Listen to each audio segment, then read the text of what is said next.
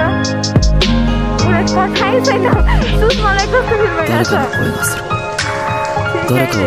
अनि कस्तो फिल अनि फेरि अनुसारलाई कस्तो फिल भइरहेछ?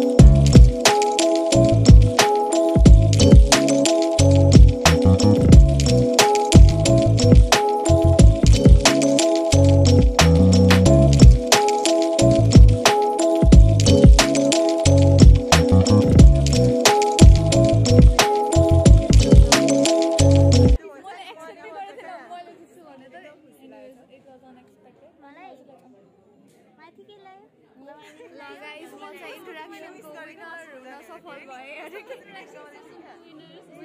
त्यो पनि के यस्तो हुन्छ थाहा थिएन मलाई बट अब आई इट वाज फन मलाई चाहिँ रमाइलो लाग्यो अहिलेको कन्डिसन चाहिँ कस्तो छ भन्दाखेरि बाहिर जानु पाएको छैन अनि एकदमै हङ्ग्री फिल भइरहेछ एकदमै। सानो भएको छ अनुहार पनि एनर्जी अलिक कम भएको छ अनि के खान्छ के खाने प्लान छ नेक्स्ट इन्टरेक्सनको लागि कुरेको हो कि भन्ने पनि थाहा छैन सिआरको लागि अहिले प्रिपरेसन चलिरहेको छ है अनि खाजा के खाने प्लान छ खाजामा के खाने के खाने खाजामा? तिमीले जे खुवाउँछौ त्यही खाने। मैले त यता गुलाब भन्ने देखाएको छु है यो- यो कलेजदेखि अगाडि।